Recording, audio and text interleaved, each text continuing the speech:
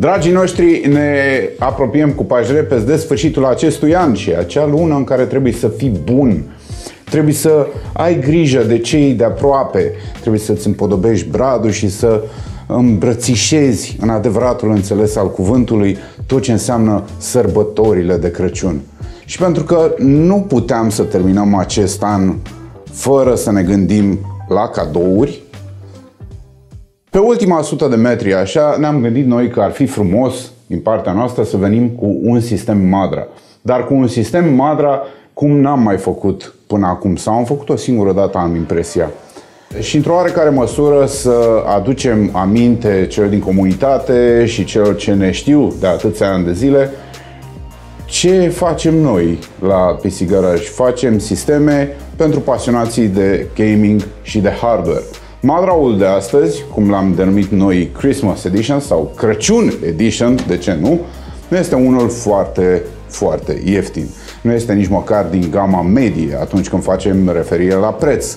Am putea să spunem fără niciun fel de discuție că este um, high-end, atât din punct de vedere al configurației, cât și din punct de vedere al prețului. Este un preț ce, uh, pe care noi uh, pe românește spus, dacă suferiți cu inima, nu vă uitați la acest clip. Sau dacă vă uitați, măcar stați relaxați, luați-vă un bol mare cu popcorn și asistați la toată nebunia ce ne-a trecut nouă prin cap. Ne-am gândit la o configurație în care să nu mai faceți niciun fel de modificare pentru următorii 6, 7, 8 ani de zile, de ce nu? Dacă vrei să faci o modificare, mai adaugi o unitate de stocare sau, de ce nu, mai multă cantitate de memorie RAM. Fără alte cuvinte de introducere, haideți să vă prezentăm în ce sau cum arată configurația sistemului nostru minunat Madra Crăciun Edition.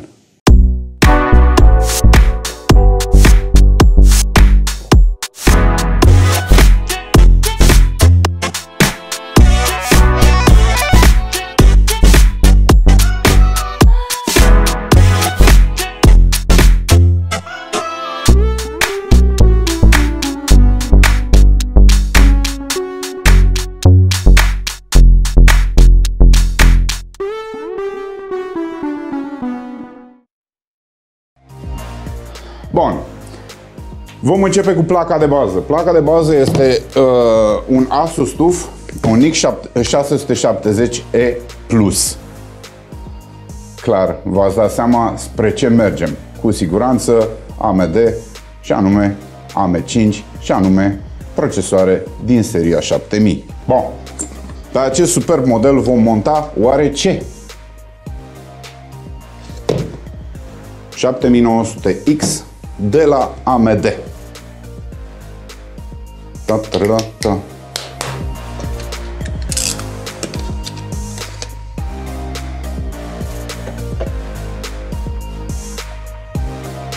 Nu mai mergem să pe varianta Dama cu camelia aia să sară, să sară tot.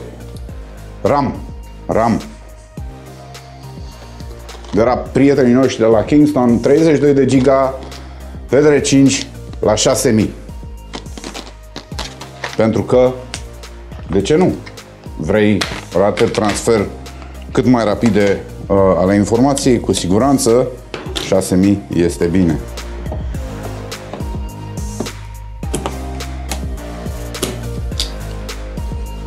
Pe partea de unități de stocare sau unitatea de stocare, cred că am zis bine, unități de stocare. Am mers pe două unități de stocare de tip SSD în standard M2. Un 980 Pro de la Samsung de 2 tera și un NV2 de la Kingston tot de 2 tera. Ambele sunt pe PCI Express 4.0. Primul vom lua 980-ul și îl vom monta chiar sub procesor în slotul M2 ce este protejat și cu thermal pad, l-ai montat Fabulos. Iar pe cel de-al doilea o să-l punem în slotul de aici, lăsând la dispoziția utilizatorilor în cazul în care mai vor să mai monteze unități de stocare tip SSD, în standard M2 cu suport NVMe să le monteze aici. Aici mai sunt încă două uh, locașuri pentru unități de stocare tip SSD. Așadar și prin urmare o să luăm distanțierul ăsta de aici și o să-l punem în poziția 2280. Bun. Asta, cu asta am terminat. Pe partea de răcire, 7900 X-ul va fi uh, răcit de o monstruozitate și anume de H150 RGB Pro XT. Îi zice RGB Pro XT, dar RGB-ul este disponibil numai pe pompă, pe ventilatoare nu. Mi-am dorit tot sufletul, chiar dacă este sărbătoarea uh, de Crăciun, să nu facem chiar un pom de Crăciun.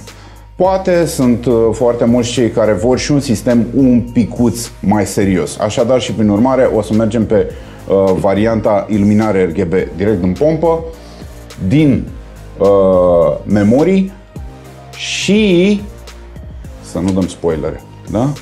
Răzvane, ce facem? Ce facem aici? Că era cât paci să sursa. Și odată ce o să vorbim despre sursă, o să-și dea seama și toată lumea despre ce placă video vorbim.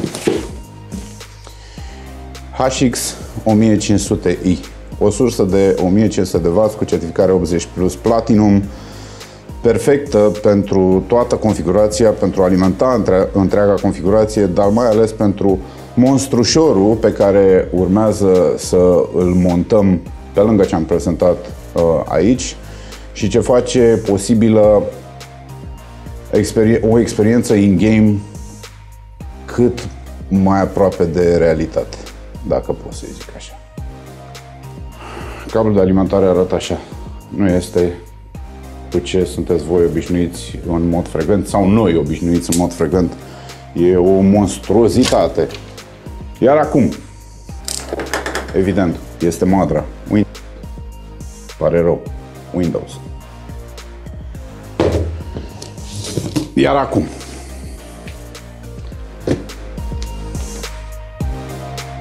Inno 3D GeForce RTX 4080. Îi zicem vreun fel iChill. Și atât. Un zdrahon de placă grafică. Pe bune. Pardon. Doare, A? doare. Doare, bă, că e grea. Și mare. 4080. 4080 în combinație cu restul componentelor pe care deja le-am trecut în revistă, va putea duce fără niciun fel de discuție în următorii 5, 6, 7 ani, poate chiar și mai bine, orice, orice titlu ce apare pe piață în 4K. Da, nu vreau să dau spoilere. Că și? O, 100 și. Um, avem minunatul adaptor de care s-a ferit toată lumea. Uh, noi am testat un 4080 cu acest adaptor timp de 24 de ore, l-am lăsat într-un bench, benchmark, nu e niciun fel de problemă. L-am montat uh, astfel încât să simulăm într-o oarecare măsură poziția plăcii grafice în carcasă și despre carcasă o să vorbim în câteva secunde și n-am avut niciun fel de problemă. Nu se încălzește de nicio culoare, nu, nu se întâmplă absolut nimic. Totul este safe. Cred că o să trebuiască să debarasăm toată masa pentru a aduce carcasa. Pentru că carcasă, în primul și în primul rând, eu m-am gândit la uh, airflow, la uh, temperaturile generate de către toate componentele. M-am gândit la placa grafică, este o, pla- o placă grafică mare în dimensiuni și am zis cea mai bună variantă, din punctul meu de vedere, și am mai spus-o și la începutul acestui clip, este o configurație pe care am gândit-o să readucem aminte celor din comunitate sau clienților sau clienților vechi că psiharajul este pasionat de tot ce înseamnă uh, sisteme high-end, fără niciun fel de discuție. Și am mers pe ceva ce mie îmi place foarte, foarte mult, Ne-am dus pe o carcasă foarte, foarte mare, foarte încăpătoare, foarte uh, bine uh, aerisită. Nu știu cum să fac, pentru că pe masă nu e ok să o pun. Doi.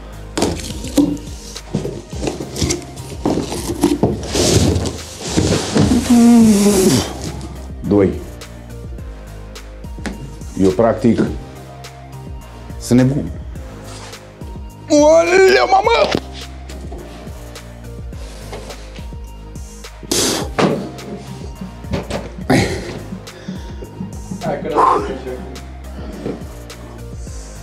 Serios. Serios. Da, bravo, mă. Ia-o tu. Ușile sunt protejate cu un șurub aici. Nu, eu nu știam de ce uh, nu ies șuruburi. Uh, sunt niște șuruburi în balamale ce fac ca ușile să nu poată să fie scoase sau eu știu, din greșeală.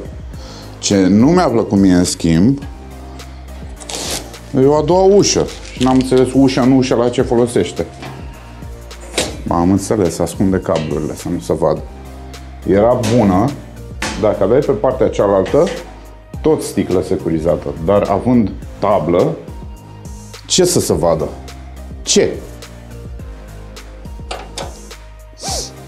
O lăsăm să o odihnească un pic, să doarmă?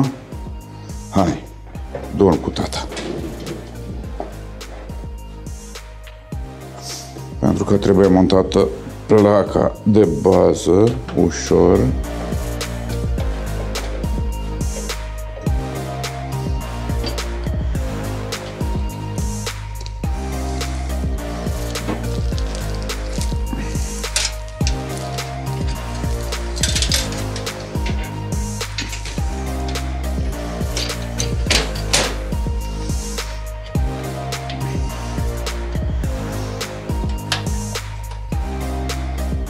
Asta e pentru Intel, nu mai trebuie pentru AM4. Acum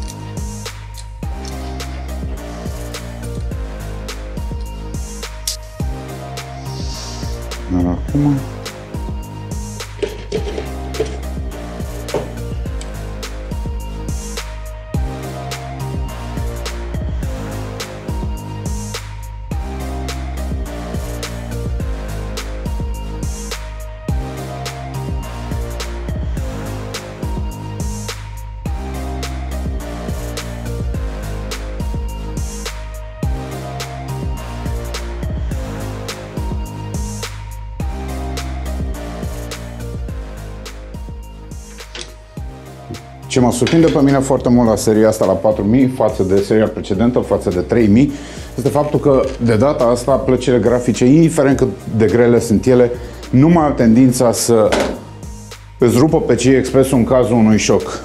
Am făcut proba asta și cu Răzvan, deci eu acum exercit pe placa grafică o putere destul de mare. Ea nu se mai clintește. Nu se mai clintește din cauza prinderii în trei puncte. Asta înclin eu să cred.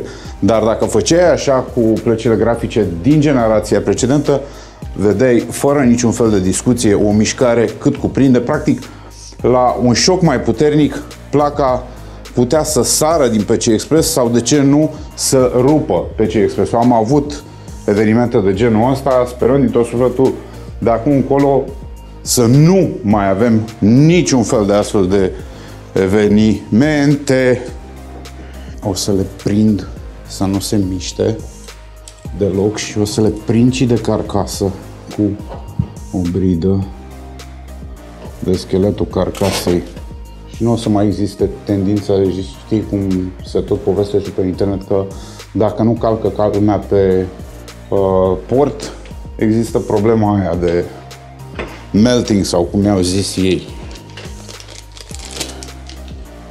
Ce era grea carcasa asta, acum e dublă ca greutate. Wow!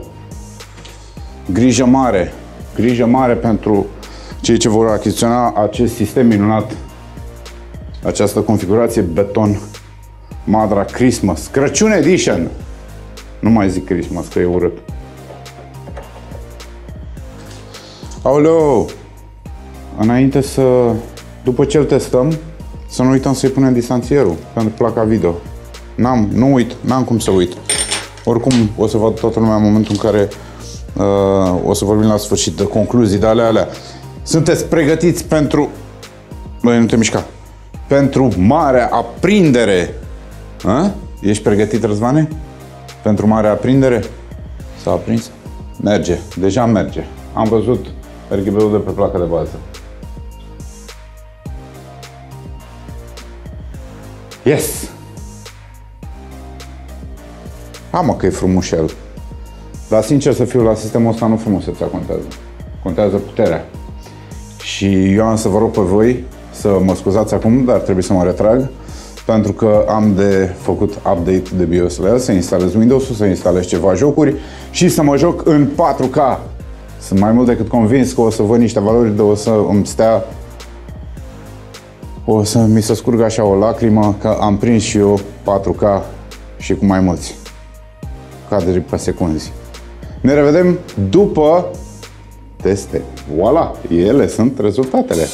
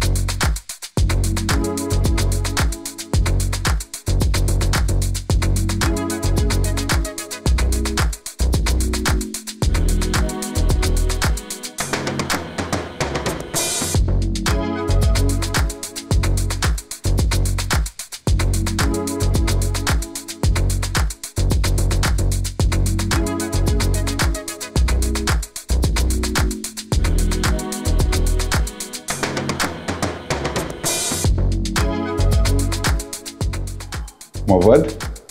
Nu mă, cred că nu mă văd. Sunt mai mic decât micu. Înțelegi ce vreau să... Hai că m-am surprins de data asta. Hai să dăm masa un pic mai jos. Ia să vedem.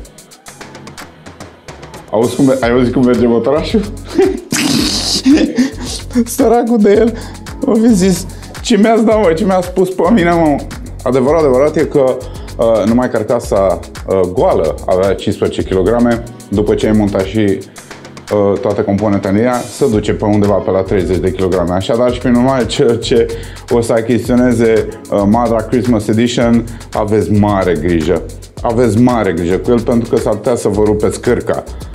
Vă recomand din tot sufletul să chemați un ajutor atunci când veți muta cutia dintr-o parte în alta. Chiar vă recomand lucrul ăsta.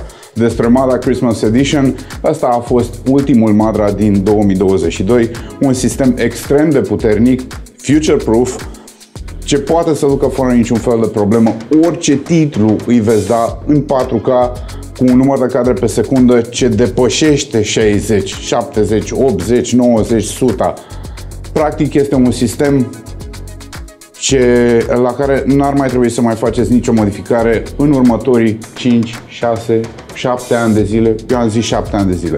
Probabil va trebui la un moment dat să mai adăugați, în cazul în care editați foarte mult și uh, lucrați cu fișiere foarte mari, s-ar putea să mai aveți nevoie de încă 32 de giga sau un al treilea spațiu de stocare în format M2 sau poate, de ce nu, pentru cei ce sunt mai uh, atenți cu datele, să pună un hard disk de 4 tera, de 8 tera, mai știu eu ce altă nebunie de genul ăsta. Este unul dintre e pe locul 2 sau pe locul 3 sisteme performante pe care le-am făcut în decursul timpului aici pe PC Garage TV, comunitatea pasionaților de hardware și de gaming. Gata cu episodul ăsta. O să trebuiască acum să le curățăm frumușel, să reinstalăm sistemul de operare, toate platformele de jocuri și sunt ale voastre. Prețul, am zis-o și la început, este unul destul de mare, dar la interior ai tehnologie cât cuprinde și iarăși suntem sub wishlist. Cu mult de data asta, cu mult. Acesta a fost episodul, vreau să zic de vineri, dar azi e joi. Ține loc de uh, episod de vineri. Ne vedem săptămâna viitoare în ultimul live de pe 2022, ultimul mailbox de pe 2022 și nu în ultimul rând, ultimul episod de vineri din acest an minunat și superb 2022. Să aveți un weekend cât se poate de liniștit. V-am pupat. Ciao, guys. Tu, Răzvane? Ceva, cumva? Hă? Nimic? Nu, nota. Nota. 10, credem noi. Ciao.